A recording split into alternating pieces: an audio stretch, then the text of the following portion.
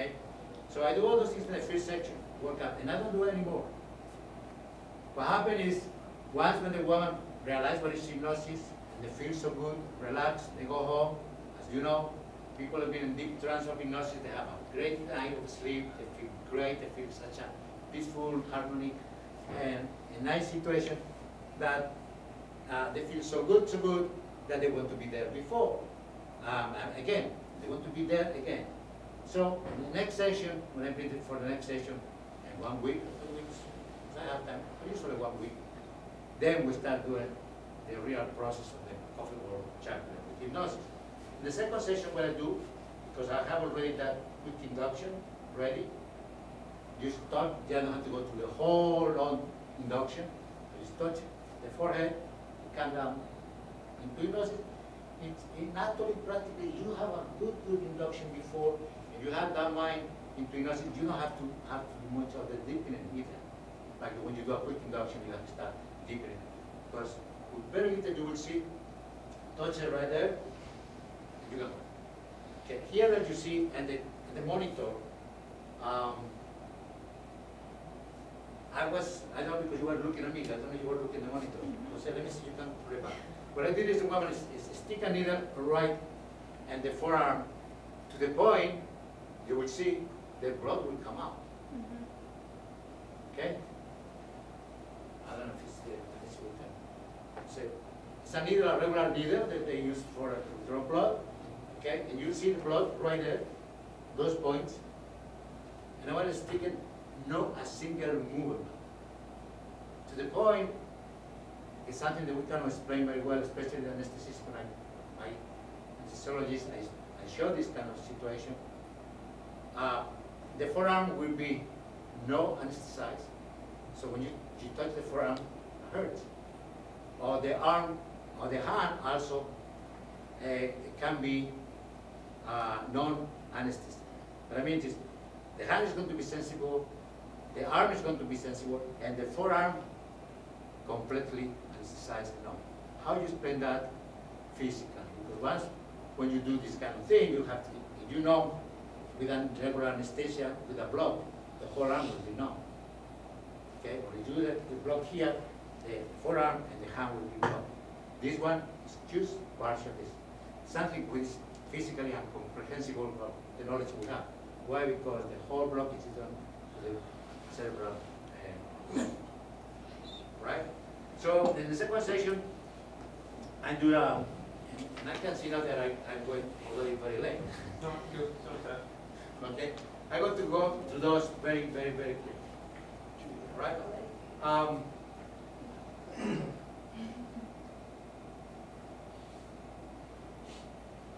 what I do is I do a quick induction, then I deepen it of, uh, of the eyes open and uh, close. Uh, then I do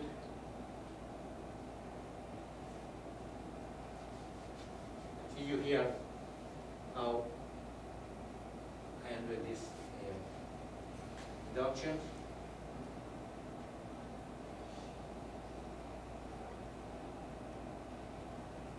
One very thing very important during the labor is that women really uh, are afraid of labor. Many women are afraid of labor because all the problems they have from the beginning. They have been educated like a, you have child with pain. The Bible said. So that is how this like discourse. They hear very bad tales from the mother, or I heard somebody had this. Uh, so when they come to the to the labor room, they are afraid. Okay? And the first thing that you have to do, okay, is remove the fear and the tension syndrome and make the fa- uh, believe, and they will believe, okay, that the childbirth will be the happiest day they will be a good experience. So you have to put that in mind. From now on, you don't have to be fear, have fear anymore, not to be afraid anymore, it's going to be the happiest day in your life to have today. Okay? And also very important to change the semantics. Semantics are very important. You go to a doctor, when you have a baby, I don't know who, how many, how many have a baby here, okay? The first thing, the the doctor will tell you, okay, Call me when you have pain every 10 minutes. Could you imagine program the mind when you have pain? You already are talking, and everybody knows what, what pain is all about. Call me when you have pain every 10 minutes. Just start like that. Had to be changed. And what I propose is call me when you have contractions every 10 minutes. Make a big, big difference. And the mind. And the mind is programmed that way. Okay? It's ridiculous to call a labor room. It's like labor, hard labor. Something instead of call childbirth suite or of childbirth room. Okay? And um,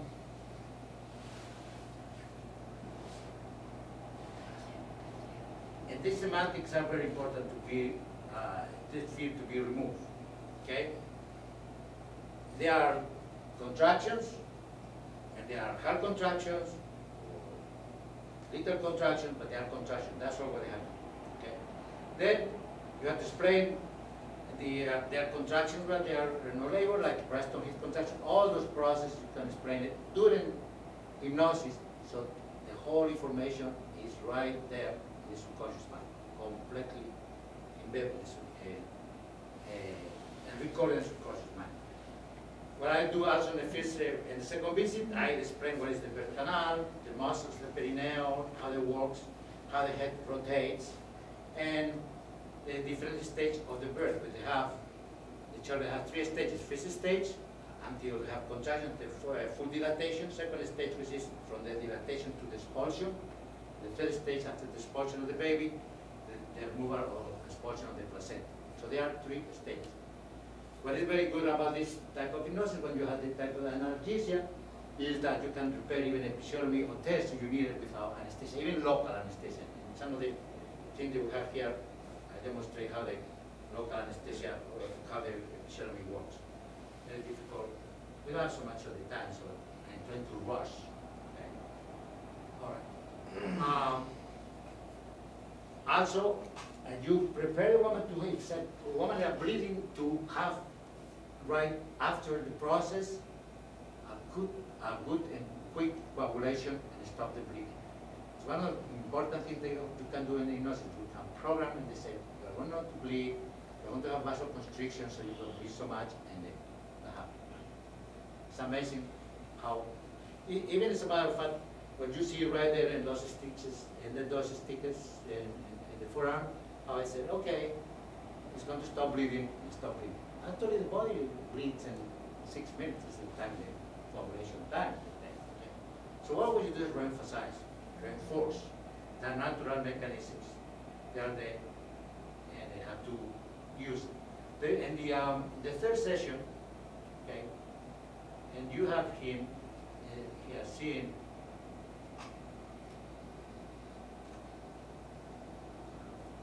In the third session, you do a quick induction again, deepening, create somnambulism, create anesthesia in the arm, in the abdomen, sticky needles.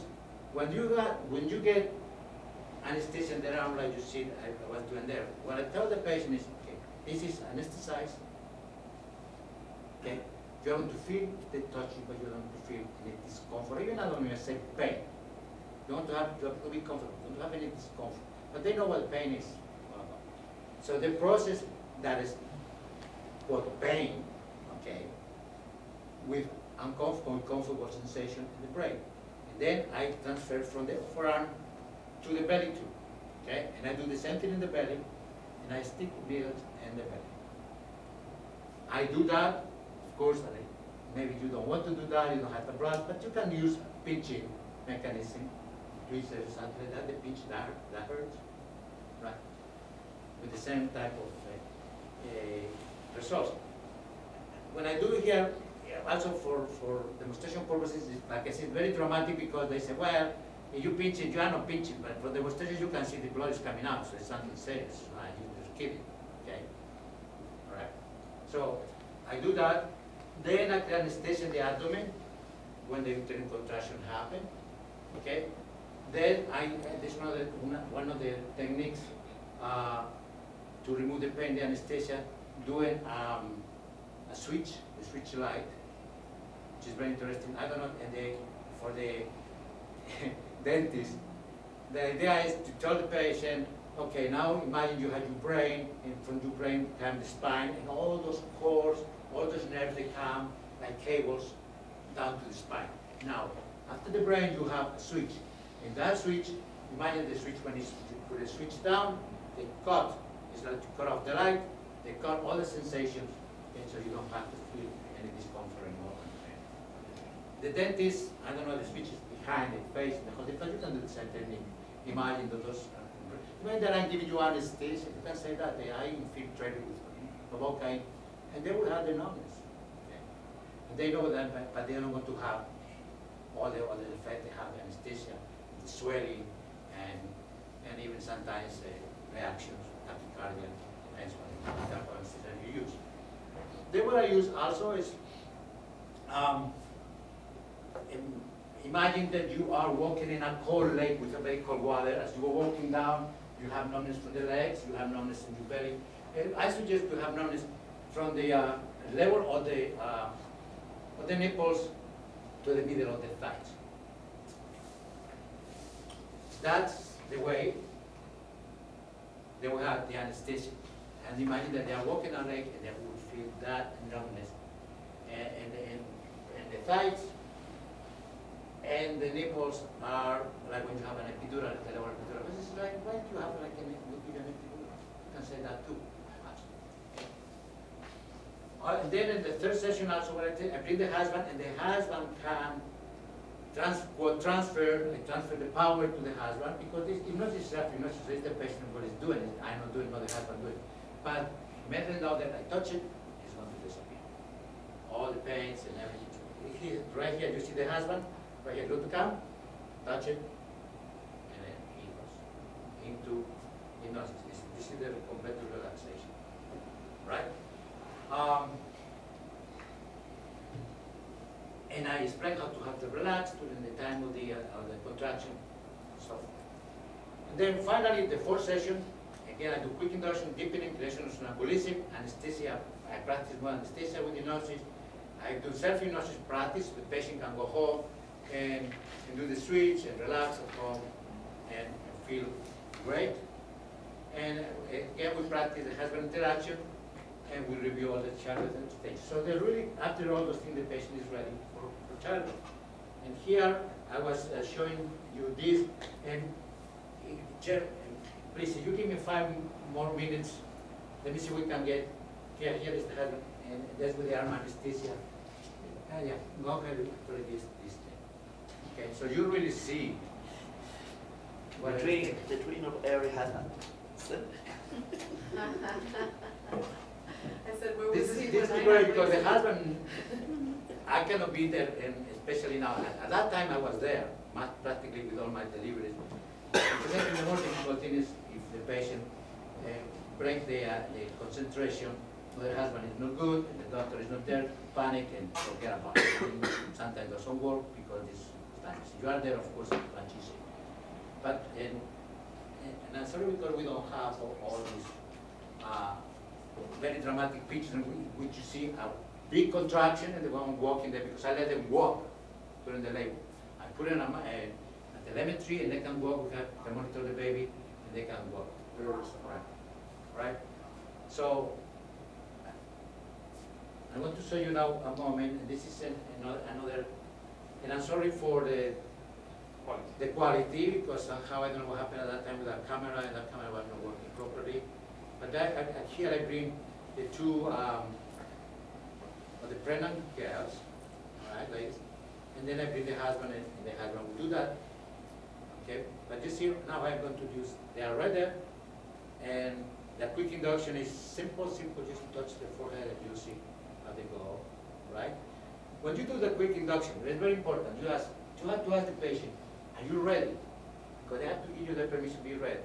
If They don't say, I'm not ready, don't do it, because you are going to fail. Are you ready? They are ready, that's the signal, touch it, they go, stand hands together.